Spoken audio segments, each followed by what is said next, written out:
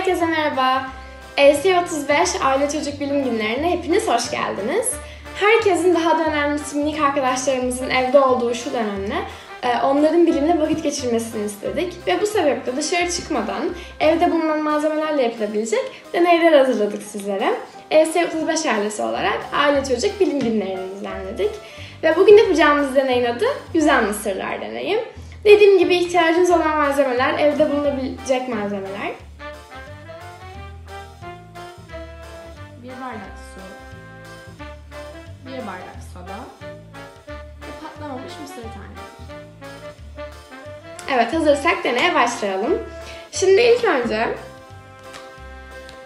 ikinci bardağımıza sodamızı bir dolduralım.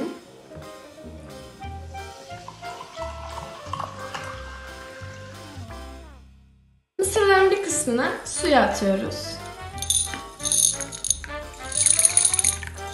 Mısırların yere battığını görüyoruz. Şimdi mısırların bir kısmını sodaya atalım. Mısırların sodanın içinde dans ettiğini görüyoruz. Peki acaba bunun sebebi ne? Suya attığımız mısır taneleri dibe çöktüler. Ama sodaya attığımız mısır taneleri sodanın içindeki gaz kabarcıkları yüzünden yüzeye çıktılar. Bu gaz kabarcıkları onları yukarı taşıdı. Bugünkü deneyimiz bu kadardı. Evet gördüğünüz gibi son derece basit bir deney. Bu deneyi evinizdeki malzemelerle, ailenizle beraber kaliteli vakit geçirerek siz de yapabilirsiniz. Hem eğlenirsiniz hem de öğrenirsiniz. Hem de hepimizin evde olduğu bu zamanlarda zamanınızı bilimle kaliteli bir şekilde geçirebilirsiniz.